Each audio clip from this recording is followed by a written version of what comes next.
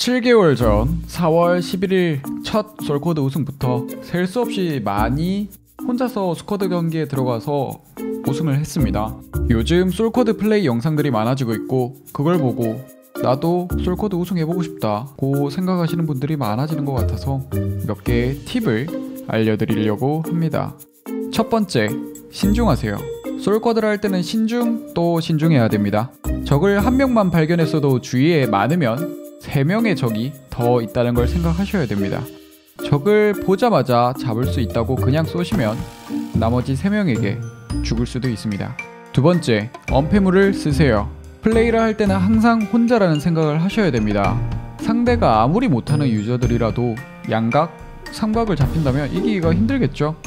언패물을 활용해서 한 명씩 잘라 나간다면 여러 명이랑 동시에 싸우더라도 충분히 이기실 수 있습니다.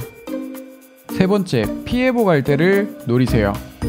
적을 가장 죽이기 쉬울 때는 바로 피해복을 할 때입니다. 붕대나 구급 상자를 사용한다면 피가 많아도 75%보다는 아래라는 거고 피를 회복하려면 가만히 있을 수밖에 없습니다. 그리고 피를 회복하는 도중에는 총기를 넣고 있기 때문에 적을 발견하더라도 바로 총을 쏴서 대응을 할 수 없기 때문에 죽일 수 있는 최적의 환경이 됩니다. 고인물 유저들이라면 피해복을 할 때 앉거나 일어서서 좌우로 조금씩 움직이지만 그렇더라도 넓은 반경으로 움직이지는 못하기 때문에 충분히 쉽게 죽일 수 있습니다. 네 번째, 적의 뒤를 밟으세요. 내가 지나가기 위해 적을 주게 하는 경우도 있고 그 적을 이용해야 되는 경우가 있습니다. 여기서 후자의 경우를 예를 들면 내가 본 적이 A고 그 앞에 다른 적이 B라면 A 뒤를 따라가다가 A와 B가 싸우게 되고 싸움이 거의 끝나고 피해복을 할 때 죽이시면 두 개의 파티 전부를 혼자서 farming하실 수 있습니다. 다섯 번째, 소음기를 최대한 활용하세요. 솔쿼드에서 가장 중요한 건 일단 적에게 들키지 않는 겁니다. 총을 안 쏘는 게 가장 좋지만 어쩔 수 없이 적을 죽여야 되는 상황은 분명히 오게 됩니다. 그럴 때는 필수품인 게 소음기입니다. sniper rifle은 소음기를 끼면 약 500m, 어설트 라이플은 소음기를 끼면 약 300m, SMG 권총 브스스는 소음기를 끼면 약 100m까지밖에 안 들립니다. 여기서 비 오는 날이나 전투 중인 파티를 상대로 사용을 한다면 더 가까운 거리에서도 소리가 묻혀서 들리지 않습니다. 팁은 이 정도로 하고 무기 추천을 해드리겠습니다. AR은 딱히 무기 추천은 없고 어, 취향대로 쓰시면 됩니다. SR sniper rifle도 취향이지만 저 같은 경우에는 DMR인 SKS 미니 14 MK14보다는 bolt action 총인 카구팔 M24 AWM을 추천합니다. 그 이유는 bolt action 총들은 2렙 head, AWM은 3렙 head까지 한 방에 적을 눕힐 수 있기 때문에 한 명을 바로 제거하고 싸울 수 있기 때문에 추천을 합니다. shotgun에서는 S1897 흔히 pump shotgun이라고 부르는 총과 갓갓 총인 사이가를 추천합니다. pump shotgun은 shot에 delay가 있지만 탄창이 5발이라 벽을 끼고 싸울 때 4명을 모두 한 방에 보내버릴 수 있고 사이가는 진입을 해야 되는 상황에서 정말 빛을 발하는 총입니다. 대용량 탄창까지 끼고 있으면 무려 8발로 4명에게 2발씩 꽂아버릴 수 있네요. double barrel shotgun을 추천하지 않는 이유는 아무래도 2발이고 재장전 속도도 꽤 느리기 때문에 솔쿼드에서는 다수의 적이 한 번에 진입을 한다면 double barrel로는 부족한 상황이 꽤나 많습니다. SMG에서는 움프 딱 하나만 추천을 해드릴게요. 벡터나 우지는 한 발당 피해량이 적고 발사 속도가 빨라서 한 명에서 두 명을 잡기에 최적화가 되어 있지만 솔코드에서는 효율이 많이 떨어집니다. 그에 반해서 움프는 DPS가 낮은 대신에 대용량 탄창을 끼면 35발로 탄이 많고 한 발당 피해량도 높습니다.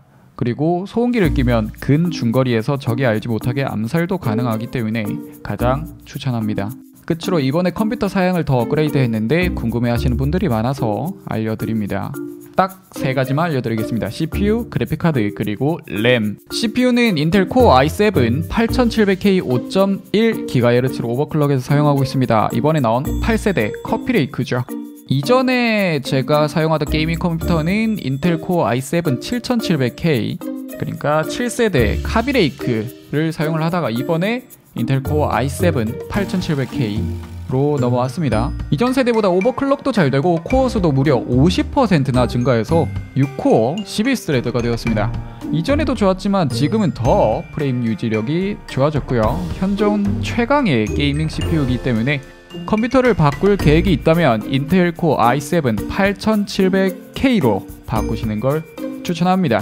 그리고 그래픽 카드는 이전에 사용하던 엔비디아 1080 Ti를 그대로 사용 중입니다. gaming 성능이 가장 좋은 그래픽 카드는 엔비디아 타이탄 XP이지만 가격이 무려 국내가 165만 원, 해외가 1,200달러로 가격이 매우 비싸고 비reference 모델이 없기 때문에 cooling 성능이 좀 부족합니다. 그래서 custom 수랭을 하시는 분들은 엔비디아 타이탄 XP를 사용하시는 분들이 있지만 일반 유저들이라면 약간 성능은 낮지만 가격이 훨씬 싼 엔비디아 1080 Ti를 추천합니다. 비reference 모델들도 많고 가격도 저렴한 건 90만 원대부터 괜찮은 제품들은 100만 원 초반대 제품들까지 굉장히 제품들이 많기 때문에 엔비디아 1080 Ti를 사는 걸 저는 추천드립니다. 그리고 램은 DDR4 8기가 두 개를 4000MHz로 overclock해서 사용을 하고 있고요.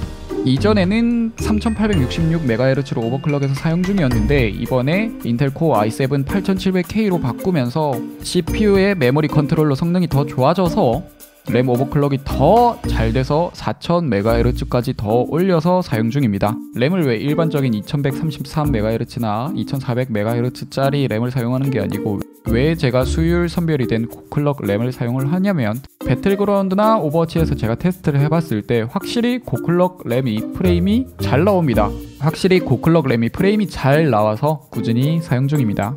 이번 영상은 여기까지 하도록 하겠습니다. 팁이 엄청나게 많은 건 아니었지만 솔쿼드를 하는데 많이 도움이 되셨으면 좋겠고요. 다음 공략 영상으로 저는 다시 돌아오도록 하겠습니다.